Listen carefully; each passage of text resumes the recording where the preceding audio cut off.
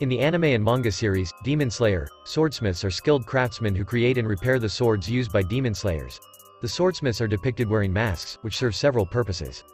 Firstly, the masks are worn to protect the swordsmiths from inhaling harmful substances such as metal dust, which can be produced during the sword-making process.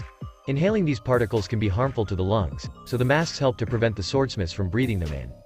Secondly, the masks are a traditional part of the swordsmith's attire and are symbolic of their craft.